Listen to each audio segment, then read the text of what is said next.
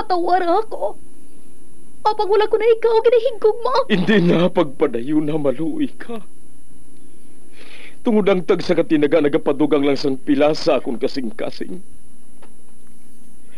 Kinpapati mo ako sa paghigug mga isa lang gali kapakuno-kuno.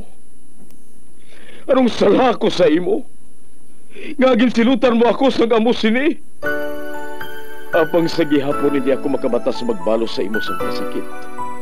Agud mabatyagan mong nabatyagan ko. Kundiin man ako makaabot, kundiin ka man. Tanday na nga sang makaisa.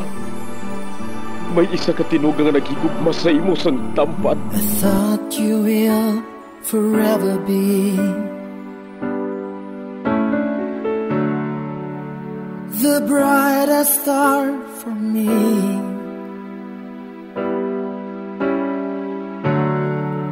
And I promise I will stay in love with you till the end. Once, there was a love. Sa tag sa kakabuhi sang tawo, kag sa tag sa kabahin sa iya kasing-kasing, may isa kahandumanan nga matahong. Masadya, masakit, kag makahalamot nga durot sang paghigugma. Kung kamo may handumanan sa paghigugma nga hindi malipatan, ipadala lang diri sa aton palatuntunan. Once, there was a love. Kay ina paghahatagan namon sang kabuhi para sa inyo kalingawan. Once, there was a love.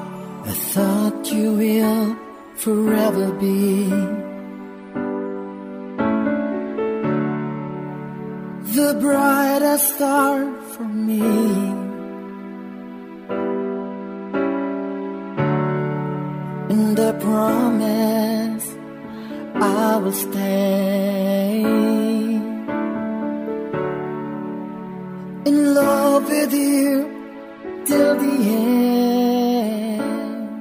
Kag karon, sa kasugpon sang kasaysayan ni Lorena, nga iya ginpasakop, kagaton man ginhatagan sang kabuhi, diri sa aton palatuntunan.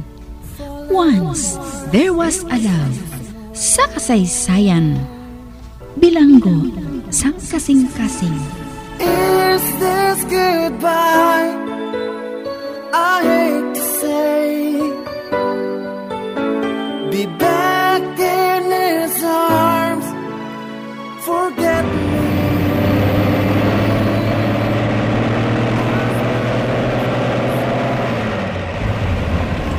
Nagasakot ang ginabatyag ko. Samta nagapadulong kami sa balay. Nakibalo ako nga sa pagtapa ko dito. Dako nang nagbago. Kagtubtub subong.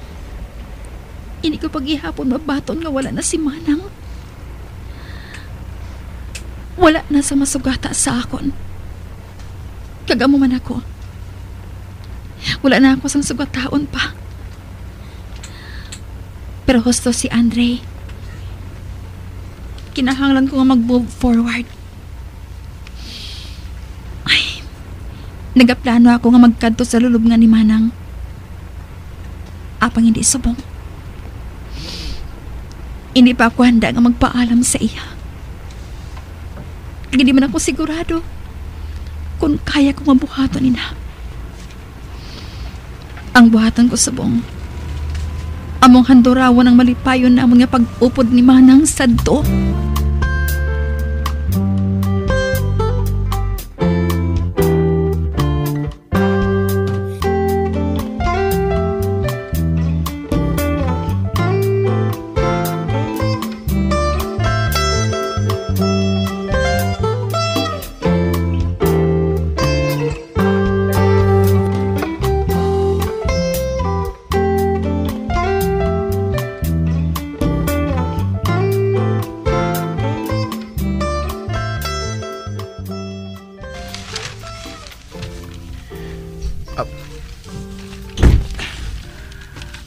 Ako lang bahala magpasulod sa mga gamit mo, Ma'am Lorena.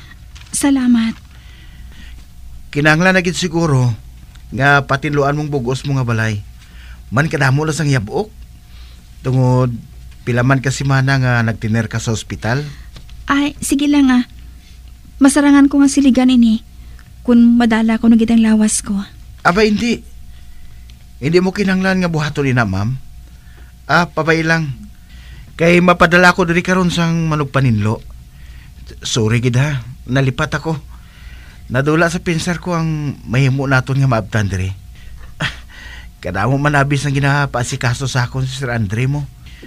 Ah, o gali. Maabot man diri karon ang nurse nga matipan sa imo. Para nga may kaupod ka diri, ma'am. Um, I can manage. Thank you. Hindi na lang pagpakadtua diri ang nurse ah. Pero amoy nang ginmando ni Sir Andre, ma'am. Well, hindi ko sir si Sir De La Rosa. hindi ka magkabala ka, Ryan. Kaya kong kaugalingon ko. Ah, maabot man ang mga iban kong abyan diri karon eh. Updan nila ako diri. Um, kagusto ko sila nga makaupod. I hope you understand. Mas komportable ako sa ila eh. Pero, ma'am, ining... Para mapahamtang ka, hatagi ako sang number mo. Kay tawagan ko ikaw kung kinahanglan ko ang bulig. Ah, sige ma'am. Iatagos mo nga akong calling card. Ah, maday lang ha. Kay kuwaon ko sa wallet ko. Ah, oh, ari ma'am oh. Ah, salamat. Mas madali ka nga kahambal sang sa boss mo. Pero ma'am, sigurohon mo ha. Nga buhaton mong ginasiling mo. Of course. And please, hindi na ako pagtawag nga ma'am. Loriana na lang. Or you can call me Lori. Ah, okay. Ay, nagapagig-unong ako sa natabo gali sa magulang mo. Lo- Lorena. Thank you.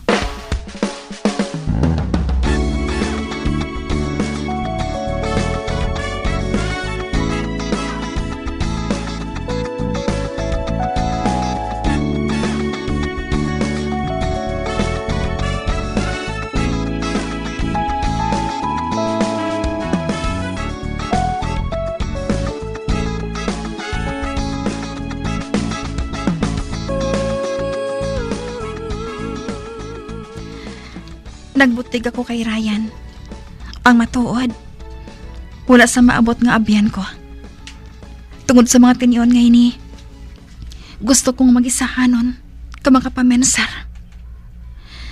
Kinahanglan nga anaron kong kaugalingon ko. Kagsuguran ko ina. Karon nga nakagwa na ako sa ospital. Ba, si Mina, ang kaupod ko sa foundation ang nagapanawag. Sabton ko. Hello? Hello, Lorena? Oh, Mina? Nakatawag ka man? Gusto ko lang nga magpangamusta. Kagdala na sugid sa imo, sang maayo nga balita. Grabe! Kadamo sa nag-offer sa scholarship. Dason, may fundraising projects pagid. Kag nagatanyag sila sa dako nga bulig para nga magdako pagid ang eskwelahan. Hindi ako excited sa ginasiling niya. Tungod ang matuod. Wala na ako sang plano nga magbalik pa dito. Madama pa ako sang ginapamensar. Kag kinahanglan kong oras para sa kaugalingon ko. Ay, hindi pa ako handa para tubangon ang realidad. Lorena? Hello? Ay, Nina? Ah, that's good. Ah, actually, mga bay kong tani ako sa imo nga ikaw lang nga na bahala sa foundation. Ha? Ah, nga man. Base kon madugayan pa ako kag makabalik eh. Pero, hindi ko ini masarangan nga nag-aisahan nun. Kung may kinahanglan ka, tawgi lang ako. Ini gani, magkadto ka lang diri sa balay. Or kung gusto mo, um, magkuha ka sang lain nga psychologist bilang kabaylo ko. Okay. Pero, bisitahan mo ako dili kung kaya mo na, ha? Hulaton ko gid ikaw. Kag siguro hagit nga makabalik ka, ha? Okay ah. Bye. Nakibalo ako. Madama pa siya sang gusto nga ihambal. Apa nagpaalam na ako. Kinahanglan ko nga magtulog. Ay, bason ko nga akong kamot sang tubig diri sa gripo sang lababo. Gamit ang isa ko lang kakamot. Kaya ang isa, nagkauyat sa akong cellphone. Anay ka bala? Ay! Oh, hindi! Nagdanlog sa kamot kong cellphone ko. Kinahulog sa lababo nga may tubig. Ay, makailinit! Ba,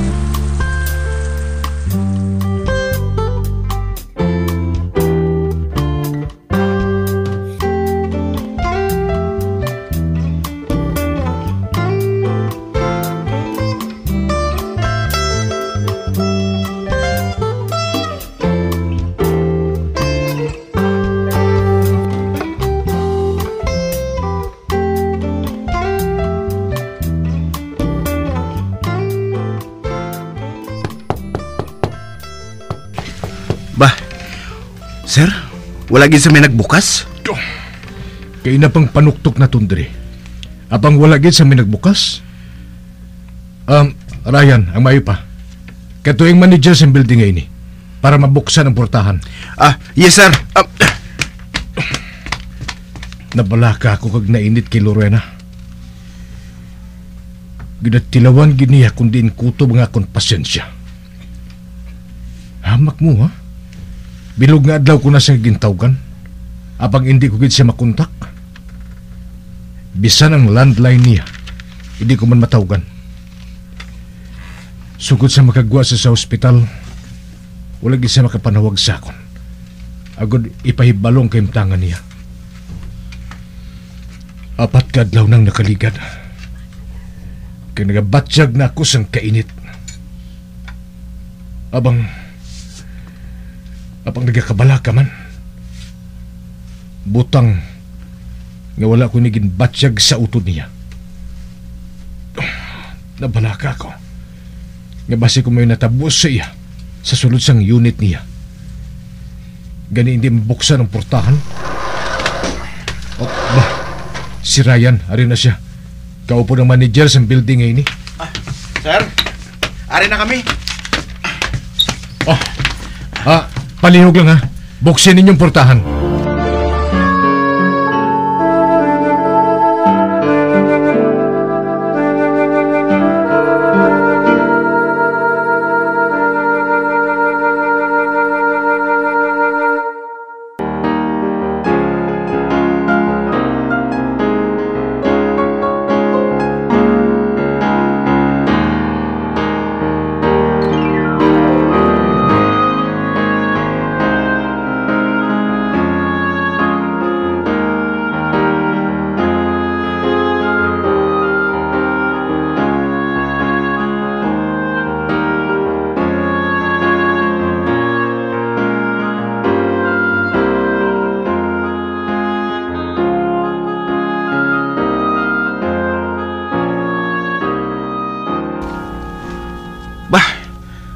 Kalinong sang sulod sang balay, sir?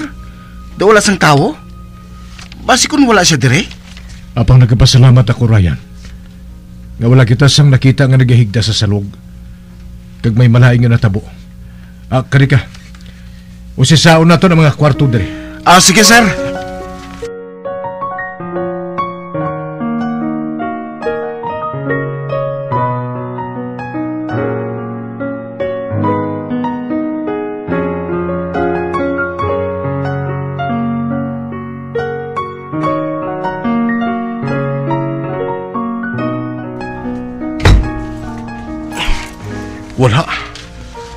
Siyang tao sa duha ka kwarto. Bisan sa banyo, wala ko sa nakita. Amay pa, mabalik na lang ako sa sala. Dito na lang ako mahulat sa pagbalik niya.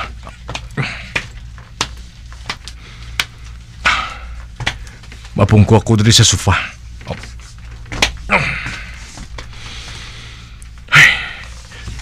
Um, Inangaras sa lamisita.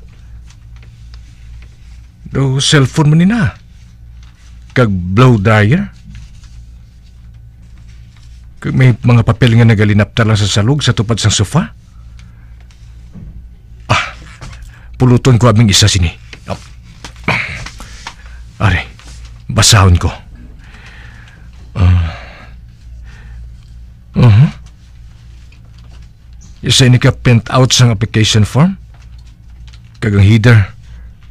Among ngalan sang kumpanya. Kagang address dito sa Canada? Ah. Hindi ka siya magpamati sa akon.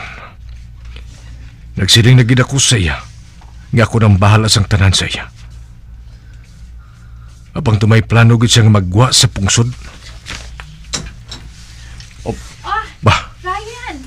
Yang ari ka? ari na siya. Nakasulod? Oh, Mr. De La Rosa? Sa din ang nurse mo, Ah, wala ko siya ginbaton. Kag wala sang sala diri ang assistant mo.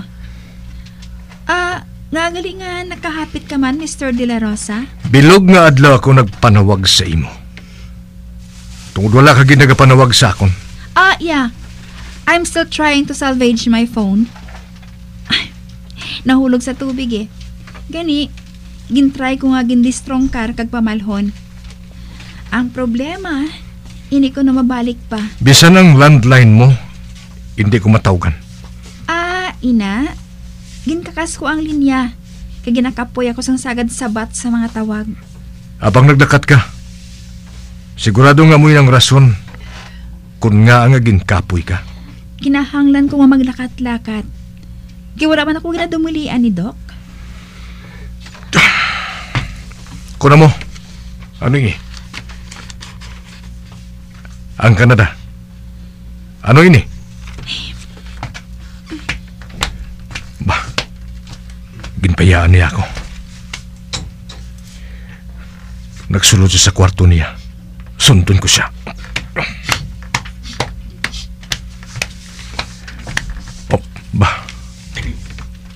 Nagahigdas siya sa kama?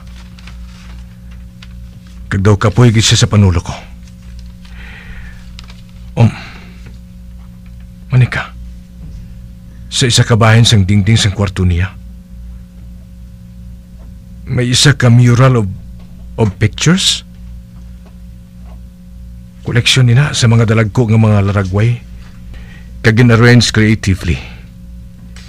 Kag ang kalabanan niya mga pictures, magkaupod gid sila ni Lucia. Kag makita sila mga laragway nga malipayon sila. Bah, kag may mga post-it notes pa. Sa diin, nakasulat ang bahin sa mga kuha nila. Kag ginapakita sa mga pictures diri ang matuod nga balatsakon.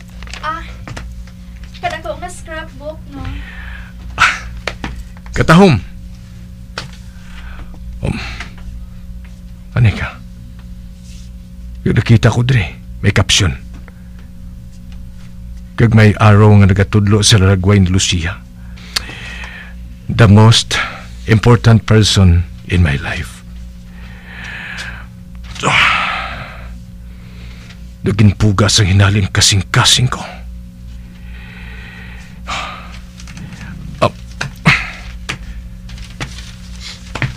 Nakabisita ka na bala sa lulubngan niya?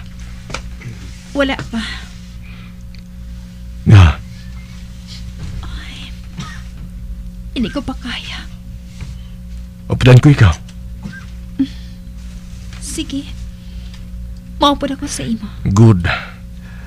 Ah, Karon sugiri ako bayan sa application form. You're so bossy, ha? Hando mo gigali nga magwa sa pungsod? Plano. Then you must know nga hindi ko na mapasugtan. Kinahanglan ko ang trabaho, Mr. De La Rosa. Hugot sa kasing-kasing ko na nagapasalamat sa tanan mga bulig. Pero, hindi ako pwede nga magsalig na lang sa kung ano ang kaya mong ihatag. Si Manang ang hindi gusto nga magtrabaho ako sa abroad. Nga, Tungod, hindi siya gusto nga magbulagay kami. Kani wala ako sa nakita nga rason. Kung nga nga, Hindi ko na pagbuhaton sa subong. Oh, wala siya nagsabat. Sa baylo, ginatulok lang niya ako. Gado ka subong bala nga. Ginabasa niya ang aras sa huna-huna ko. Hambalan na to ni na later, ha? Pero sa subong, kinanglan mo nga magpapaskog. Kaya kung man kag sa hindi, pareho kita na kay Bano. Kaya hindi ka pa physically ready para sa trabaho.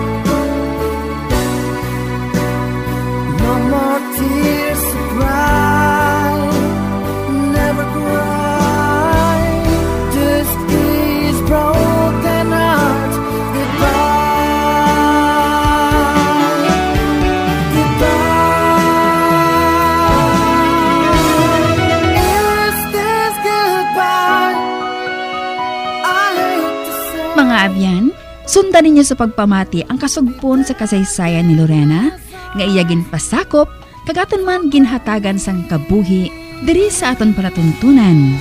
Once, there was a love. Sa kasaysayan, bilanggo, sang kasing-kasing. Sa direksyon ni Marnie Mungkal.